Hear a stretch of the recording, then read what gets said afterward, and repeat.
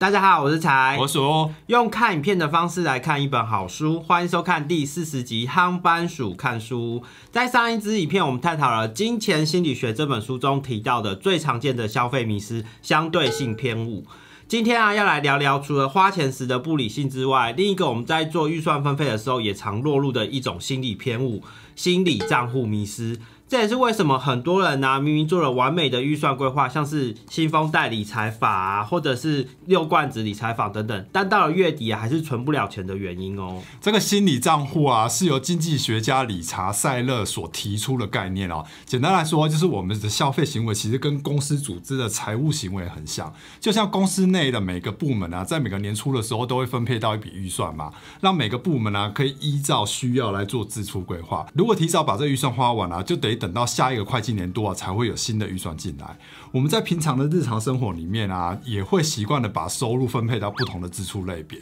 例如租金啊、账单类啊，或是生活用品啊、娱乐类等等的。就算不是刻意的做规划，或者是真的使用信奉带来理财啊，我们也很常使用心理账户来管理自己的钱哦。只是我们不见得会察觉到自己正在这么做而已。但是话说回来啊，这样子的账户管理方式听起来其实还蛮合情合理的啊。到底哪里会出错呢？我们从以下这个例子啊，就可以找出魔鬼藏在哪里喽。假设你在网络上花了一千块来买了一张派克老板的演唱会门票啊，开演当天啊，你到了小区再，发现皮夹一打开，Oh my god！外票不去呀，那幸好还有另外一张千元大钞。请问这时候你在现场会再买另外一张票吗？我觉得我不会诶，因为毕竟先前已经花了一千块买票啦，把票搞丢其实已经够衰的了，没有多余的钱可以再重新买一张。就算是现场再多花钱买一张票啊，事后也会觉得看这场演唱会啊，好像花了我整整两千块，也就是两张票的价格。那不然我们再换成另外一种情境好了。假设你事先呢没有在网络买票，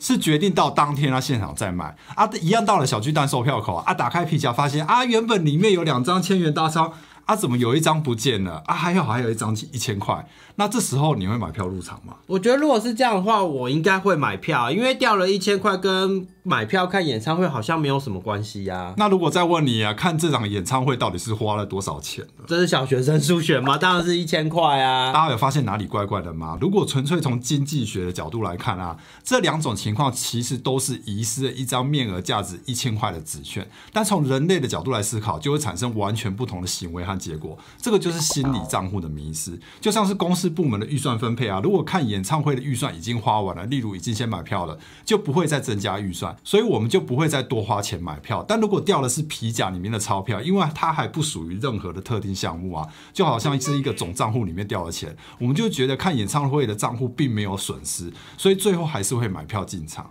但如果我们从理性的角度来看呢，我们的支出决定不应该受到想象中的这个账户影响，因为不管是看。演唱会的账户、总账户，或是其他任何类别的账户啊，这些账户里面的钱，全部都是我们的钱啊。但是我们却常常不自觉的在做这种心理账户分类，甚至导致不理性的决定。例如说，把钱存在利率很低的活储账户，却不先缴清信用卡的卡费，每个月缴很高的循环利息。像我自己以前刚出社会不懂事的时候啊，也有这样子的盲点哦，觉得每个月缴信用卡的钱啊，有一个预算的上限，如果信用卡费超过了，就算手边还有其他的钱啊，也宁愿先存在银行，而不是先交给卡费。现在想想，这样真的其实还蛮糟糕的。因为循环利息是以日计息的，如果真的不得已要动用的时候啊，记得要尽早能还多少就还多少。换句话说，我们应该避免让这种分类法左右我们啊，对这些钱产生不同的思考方法，甚至影响月底我们可以存下多少钱。另外，如果是自制力不高的人啊，心理账户还可能会本末倒置，延伸其他更严重问题，像是可塑性心理账户的迷失。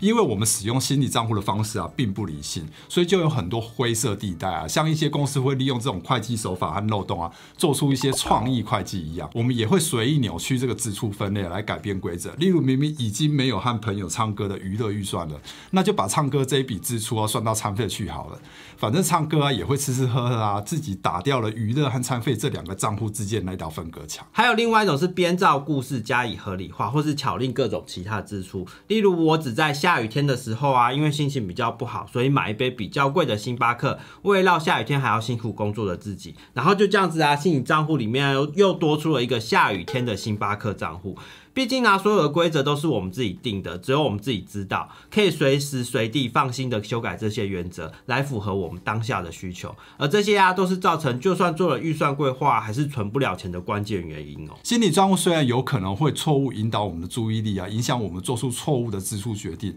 但它也并不是毫无用处啊。尤其是在我们认知有限的情况之下，没有办法面面俱到去考量到一笔支出所有的机会成本的时候，心理账户有时候也是一个有用的捷径，让我们可以维持一点财务的秩序感。只是我们必须更小心的去使用它，做出更谨慎的预算规划和原则，才能有效的去掌控这个支出哦。但是啊，如果真的是不擅长掌控支出，或是每次预算规划都失败、存不了钱的人呢、也可以试试用更简单的心理账户分类方式来规划预算，把除了必要和固定的开销，像是房租账单这类支出独立出来之后，其他的生活花费啊，就以一周为单位，编列一笔任意花费的广泛类别支出的预算。每周一的时候啊，可以得到一笔任意花用的预算，不管是存在储值卡也好，放在信封或是皮夹里面也好，就可以更直觉的掌握这笔预算是如何的被自己花用。每次消费决策的机会成本啊，也会更明显。这本由当·艾瑞利和杰夫·克莱斯勒所合著的《金钱心理学》当中啊，还有很多有趣或是我们从来没有发现的花钱迷思。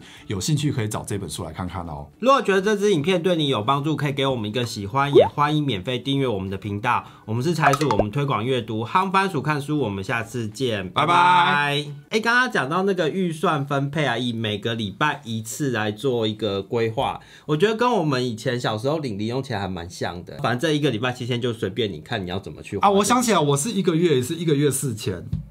怎么那么好？他说一个礼拜一千啊，自制力比较好的就可以一次给你比较大的钱，但是如果你容易把它乱花掉的话，就是拆成细项给你。所以我妈妈小时候就发现我自制力不是很好。有可能跟我们那时候在澳洲打工的时候很像，周薪对威克里，而且他们都固定是在礼拜四的时候。礼拜四的晚上就会发现路边的那个酒吧开始人就变得很多很多。对，那感觉真的很不一样，就是每个礼拜都有钱进来，这样，然后都钱都变得比较小。每个礼拜都可以期待领薪水啊。对啊就到了礼拜三就可以期待隔天礼拜四领薪水，领完薪水，哎，礼拜五上一天班，然后就要放假了。然后再隔三天又要再领钱了。对，